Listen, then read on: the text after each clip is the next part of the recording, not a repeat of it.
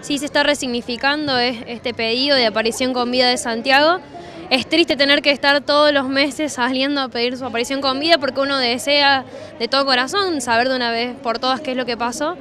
Pero bueno, acá estamos pidiendo por, su persona, por su vida, porque pues, como fue esta vez él, podría haber sido cualquiera de nosotros, y porque no queremos que vuelva a pasar, porque ya dijimos una vez memoria, verdad y justicia, y no puede ser que nuevamente tengamos que salir a pedir por aparición con vida de una persona. Así que acá estamos de nuevo concentrándonos y pidiendo por Santiago.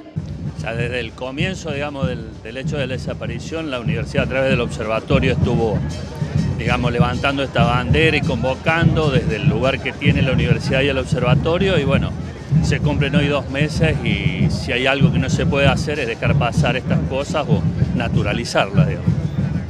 ¿Y tienen previstas algunas actividades o cómo va a ser el acompañamiento hacia adelante de este reclamo? la idea es justamente no dejar la lucha en ningún momento hasta que aparezca Santiago, ese es el objetivo. Y las cuestiones que se van armando es el día a día con los compañeros con los cuales se arman todas estas movidas.